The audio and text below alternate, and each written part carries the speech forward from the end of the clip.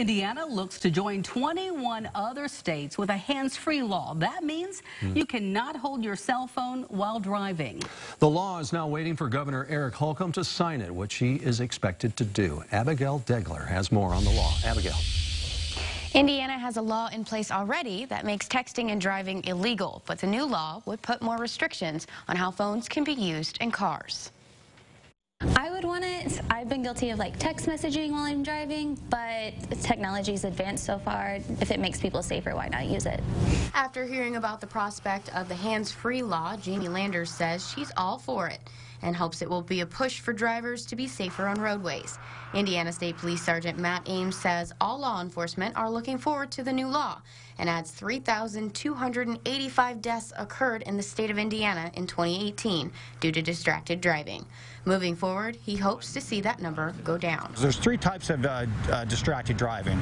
Of course, there's taking your hands off the steering wheel, there's taking your eyes off the roadway, and there's cognitive where you're distracted and you're thinking about other matters. Ames says texting combines all three, making it the deadliest. Gabe Rolfus drives home from ISU often to see his parents and says distracted driving is like driving blindfolded. A few seconds is longer than it should be. And if you're on a phone call, you're just looking around and you could get caught up in the conversation and you're losing focus on the road. Ames says the average message takes four to five seconds. In that time, he says a large distance can be traveled. You think about traveling the length of a football field and all of a sudden looking up.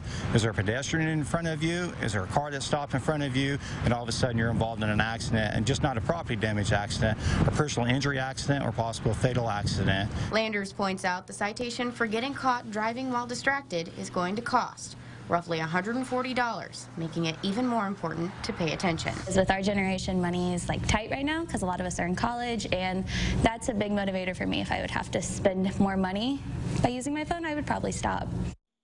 Bluetooth is a good alternative to having your phone in your hand while driving. Ames also adds a lot of cars are already equipped with them and can make calls and text if needed.